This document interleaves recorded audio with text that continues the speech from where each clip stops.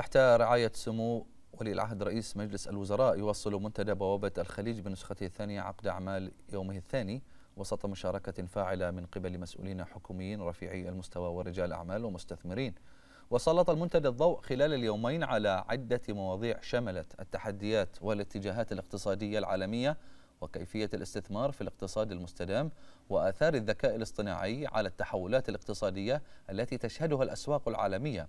وتهيئة وإعداد القوى العاملة للمتطلبات والتوقعات المستقبلية إلى جانب تشكيل مستقبل التصنيع في دول مجلس التعاون الخليجي. كما تم على هامش منتدى بوابة الخليج التوقيع على عدة اتفاقيات بين مختلف الجهات والشركات وإطلاق منتجات استثمارية جديدة وبرامج مشتركة لتعزيز التعاون والتكامل وتحقيق الأهداف الاقتصادية المشتركة.